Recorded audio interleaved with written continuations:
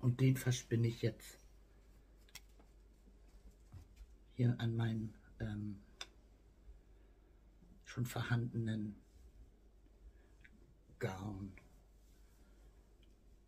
Da kann man das dann noch wieder mit ähm, so mit den Fingern festhalten, ausziehen. Dann gebe ich Drall,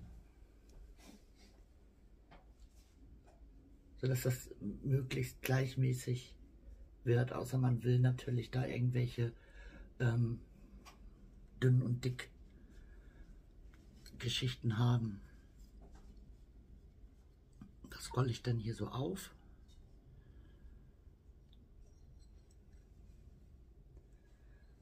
Hier oben halte ich dann, hier lasse ich los, hier halte ich den Drall und hier ist mir das zu dick. Da kann ich noch ein bisschen mehr ausziehen, nicht zu viel, sonst reißt es. Mit dem Finger so ein bisschen nachjustieren und wieder ausziehen. So, der Drall ist oben angekommen.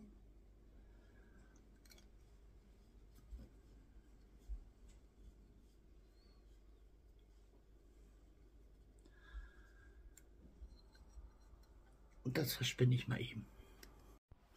Was mir immer ganz oft äh, passiert ist, ist, wenn ich jetzt so ähm, die Spindel habe, ganz besonders draußen am Wohnmobil, der Wind wehte und dann weht dir dein, deine Wolle so. Und um dem vorzubeugen, mache ich das dann so, wenn ich sehe, dass es zu dicht ist. Ich lege mir das einmal so um den Arm rum und ziehe dann aus. Und selbst wenn da mal so ein, so ein ähm, Knüdelchen drin ist, finde ich das nicht schlimm, sondern ähm, das hat nachher, einige, die, die, die arbeiten sich da ja richtig so eine, so eine Bienenkörbchen und so rein. Also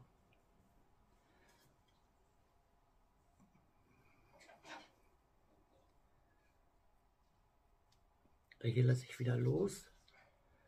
Den Drall raus, sonst ist das nachher zu fest. Dann kriegt ihr das auch nicht mehr so gleichmäßig hin. Jetzt krabbelt mir der Drall da schön rein.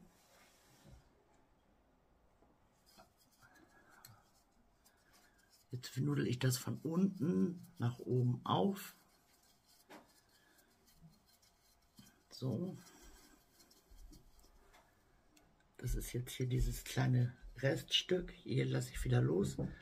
Lege mir das ein bisschen in, in Form, sag ich mal. Halte hier den Drall fest. Die Spindel dreht sich. Ich sag mal, und hier ist dann Feierabend. Noch mal ein bisschen nachdrehen. So. Nudel, Nudel, Nudel. Und dann könnt ihr aber auch direkt Ihr müsst das jetzt, ihr müsst jetzt nicht euren Rohlack hier so ausplündern, sag ich mal. Wenn ihr dann unterwegs seid oder wie auch immer. Da unten ist jetzt mein kleines Reststück.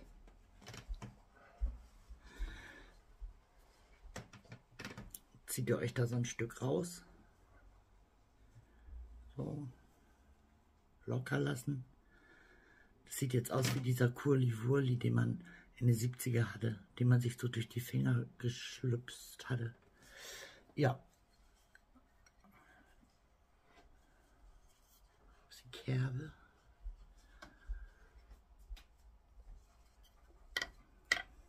Zupf mir das hier so ein bisschen zurecht oder buschel mir was ab. Verbinde das.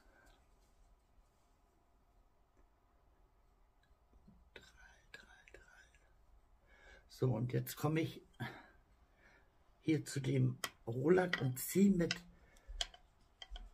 kleinem Finger, Ringfinger und Mittelfinger halt hier fest. Hier vorne ist mir das auch noch zu dick und ziehe mir das so aus. Das war der Vorführeffekt, den lasse ich natürlich gerne mal drin. Macht nichts. That's life.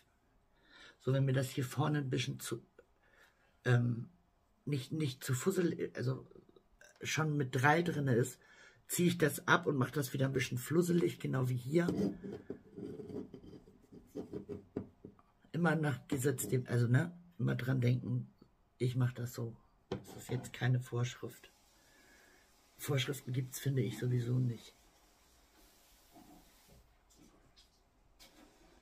Man kann sich, finde ich, also ich suche mir ja auch immer so ähm, das Beste so halt, was für mich funktioniert, raus. Der andere mag sagen, oh ne, was macht die denn da? Ist auch vollkommen okay. So, und jetzt kann man hier hinten den packen und sich immer so ein Stückchen rausziehen. Nicht zu viel. Ich würde eher immer sagen, ein bisschen weniger zu Anfang, wie jetzt da. Ähm, das hat man nachher im Gefühl. Einiges kann man richtig dünn ähm, ausziehen und einiges eben halt nicht. So ist der jetzt.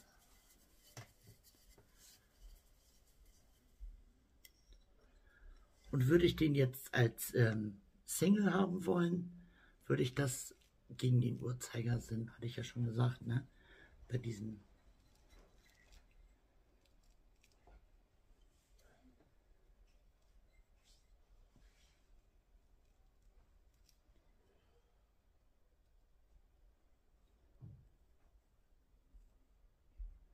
Und ich finde da auch jetzt, wie gesagt, ist nichts dabei, ähm, die Spindel mehrmals so anzuschubsen und zwischen die Beine abzustellen und so. Wir wollen ja keine Sarasani-Künstler äh, sein, sondern wir wollen einfach nur ein Garn spinnen. Das ist ja nicht, wer, wer hat am, am längsten Drall, äh, ne? Sind ja hier nicht bei Wetten das.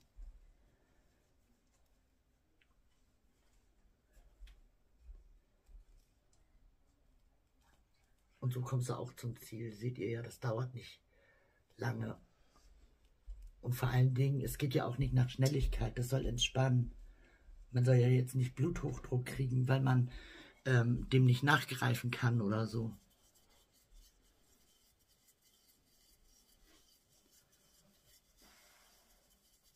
Ja, und so verwurstel ich die Rolex oder den Rolex, weiß ich, ähm, an meiner Handspindel und mische dann auch viele Farben.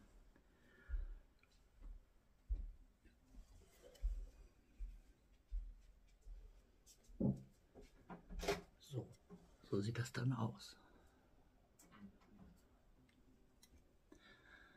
Ich gucke noch mal eben ins schlaue Buch. Vielleicht sagt uns das noch was über Rolex.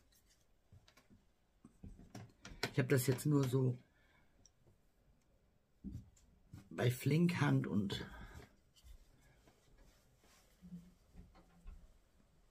also englischen und australischen habe ich mir das so angeguckt, aber ich kann jetzt, ich kann dir jetzt nicht die Geschichte des Rolex erzählen oder so. Ich finde das nur super praktisch, weil man sich die Farben, wie gesagt, am Blending Board selber macht. Es macht Spaß, man kann da Glitzer einfügen und ähm, geschredderte Sari-Seide und mal gucken, was mein schlaues Buch sagt. Also hier habe ich jetzt nur ähm, mit diesem Rolex, das ist hier, ähm, macht sie die aus Bett und dann äh, schl schl schlägt sie das so um. Also das ist jetzt nicht Rolex am ähm, Blending Board. Und dann gibt es auch noch falsche Rolex. Aus Bets ergeben kleine Farbkleckse und ein luftiges Garn. Okay, wie gesagt, ähm, noch gar nichts gesagt. Wir machen jetzt einfach mal ein Rolex am Blending Board, habe ich so beschlossen. So, wir fügen da ähm, ein bisschen Angelina rein, also Glitzer, so wie dieser hier. Tröd. Oder dieser. Und da, ich hole mal ein paar Farben, ein bisschen passenden Glitzer und dann kurbeln wir uns mal hier Sierra Börek Rolag. Das ist mein kleines Blending Board. Das gibt es auch eine Nummer größer mit einem Ständer zum Aufstellen. Ich habe hier diese einfache Version von ähm, Wolscharf. Das kommt so. Und dann gibt es dann diese beiden Hölzer zu. Ich habe auch geguckt, ob ich äh, mir von Ikea so ein Frühstücksbrett hole und mir so ein Kartenband äh, besorge. Ich hätte aber keinen Elektro-Tacker zum Festtackern. Und ich habe das mir so ausgerechnet. Dieses hier kam jetzt, ich glaube, 45 oder 46 Euro mit Sticks. Und ich glaube, das gleiche hätte ich wohl bezahlt, wenn ich vielleicht noch mehr, weil ich ja keinen Elektro-Tacker habe. Ähm, und ich wollte das jetzt nicht nur mit doppelseitigem Klebeband drauf machen, habe ich mir das gekauft. Ich habe mich jetzt hier für diesen Kammzug entschieden. Das ist so eine Mischung, hatte ich in einem Video auch vorgestellt.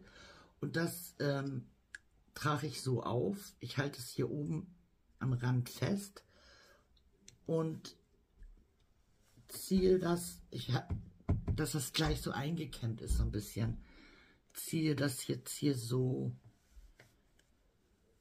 drüber. Wenn ich das jetzt nur so machen würde, dann würde die Faser hier hochstehen und ähm, das will ich nicht. Deswegen mache ich das einfach so. So möglichst, dass es so gleichmäßig ist.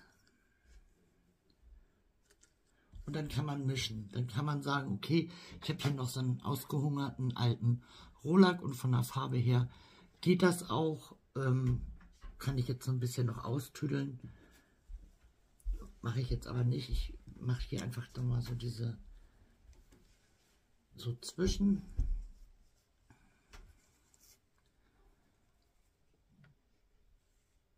Hier und da. Dann habe ich hier ähm, Milchseide. Das ist ganz, ich finde nicht ganz, ganz schrecklich, aber das ist wirklich das flust richtig so auseinander. So wie, wie Engelhaar. Also das kann man in Tannenbaum schmeißen, so. Viele machen das ja auch, habe ich gesehen, dass sie so beikommen. Ich mache mal ein bisschen hier, weil da noch ein paar Lücken sind. Die ähm, machen die erste Schicht und kämmen das dann mit ihrer Handkarte, in meinem Fall Hundebürste, ähm, so ein. Aber, okay, wenn man das jetzt so richtig noch äh, ver vermischen möchte, das heißt ja Blending Board zum Verblenden. Ähm, wenn ich mir das jetzt so auftrage, möchte ich das so behalten. Und dann nehme ich entweder diese Hundebürste und gehe so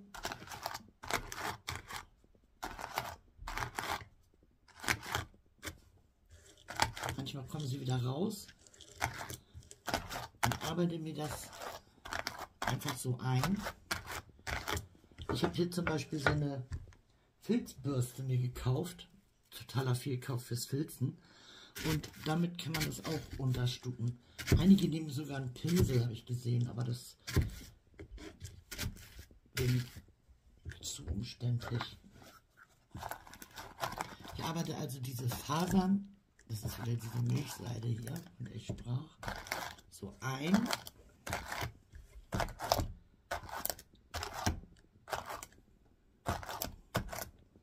Wie gesagt, einige den bürsten dann, ich weiß jetzt gar nicht, welche Richtung ich bürsten müsste.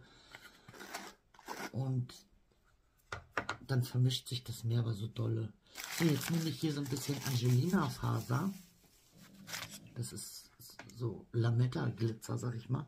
Halte das hier oben fest und ziehe das so über die Nadeln. Dieses Blending Board gibt es übrigens mit, ich glaube, 72er Benadelung und 104er Benadelung. Die 104er, das ist dann für, so, das wird dann halt feiner. Aber dieses hier langt vollkommen. So here and there so ein bisschen Glitzer, mache ich inzwischen schon überall rein. Und jetzt auf dieses Glitzer kommt noch mal so eine Schicht von meinem Kammzug. So.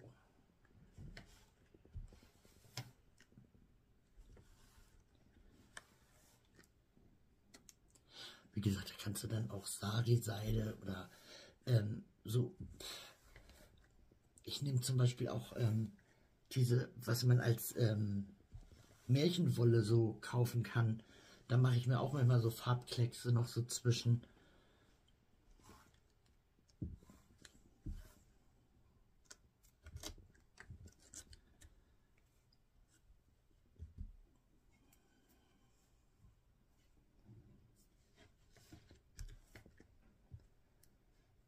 am Rand auch schön,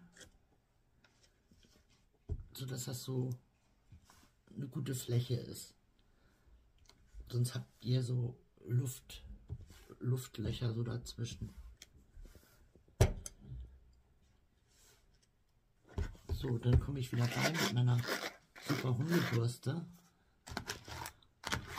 und drücke mir die Farben einfach so platt dass sie schön in der Zähne drinnen liegen. Manchmal auch so von der anderen Seite noch, dann hält das richtig gut. Und wie gesagt, die Farben vermischen sich nicht so extrem verblenden, so man ne? Ja, wenn man jetzt will, ich habe hier, das ist, hier ist so meine Märchenwolle drin so diese kleinen Portionen. Und wenn man dann sagt, man möchte da noch irgendein Highlight rein machen, das weiß ich, was für eine Farbe nehmen wir denn jetzt mal? Also ganz extrem will ich auch nicht. Ne? So Fleischfarben auch nicht.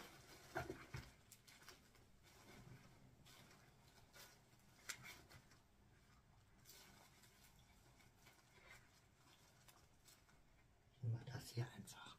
So, das ist jetzt diese Märchenwolle. Die gibt es ja in diese kleinen Tütchen. Und dann nehme ich mir jetzt ein Stück, ziehe mir das da so ein bisschen aus und kann mir da dann auch noch so eine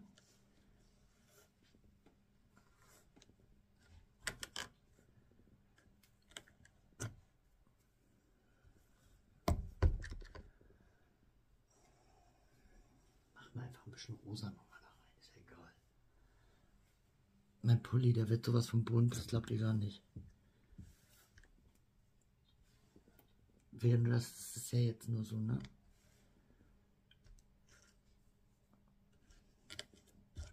Da gibt es tausend Möglichkeiten.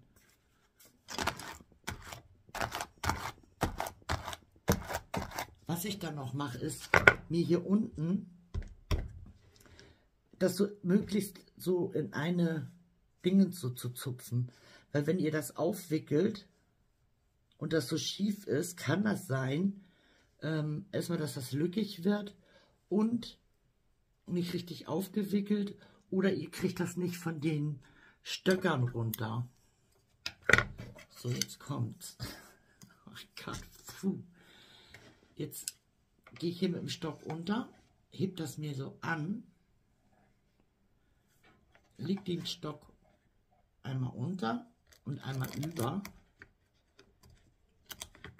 Halt mir das fest und ihr seht, wenn man sich das so zurechtzupft, ist die Kante auch eigentlich relativ ähm, gerade. So, jetzt nudel ich mir das hoch. Was ist los, Udin? Trink mal Wasser. Und nimm jetzt die Stöcker so hoch, lüpf das an und ziehe. Wickel und ziehe mir das so über die Nadeln. Manchmal dann merkt man schon, dass ich das von alleine ähm, lösen möchte. So wie jetzt. Dann mache ich hier einmal so und schieb halt fest, hier hinten festhalten schieb und habe meinen ersten Rohlack. Hier habe ich jetzt schon gesehen, da ist Tuvabu von dieser Milchseide wahrscheinlich. So, jetzt weiter. Hochlupfen.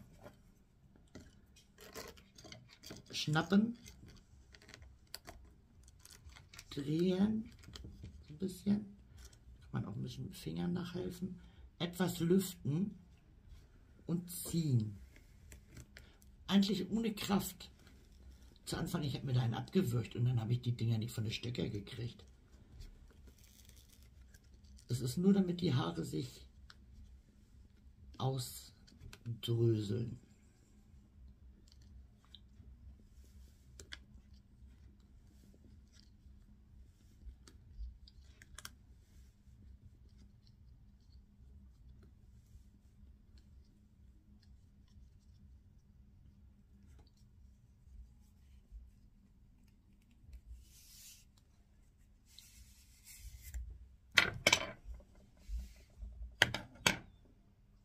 Sollte euch der Rollack mal ähm, so am Stab da stecken bleiben, zeige ich euch gleich mal.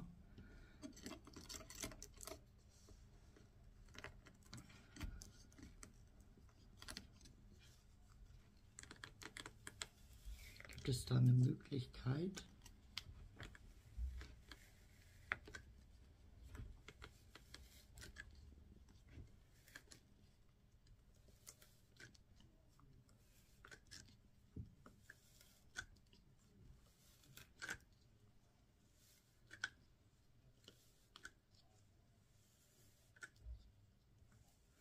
Da oben ist meistens so ein Gekrüssel. Das will ich gar nicht haben. Deshalb ähm, beende ich dann. Ihr könnt natürlich bis zum Ende ähm, aufwickeln. Machen wir jetzt mal. Wenn man das Gekrösel dann noch so sieht. So. Dann einmal so ein bisschen glatt streichen. Und sollte das jetzt so sein, dass ihr ne, nichts geht, rien ne va plus, habe ich immer so, so die Stäbe so, so und so so ein bisschen so bewegt. Oder ihr nehmt das in die Hand und dreht das so ein bisschen. Und dann kann man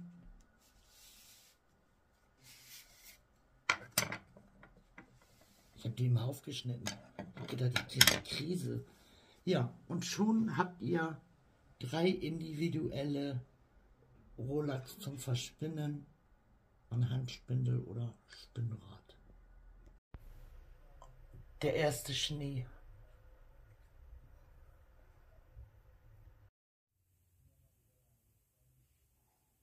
Es schneit.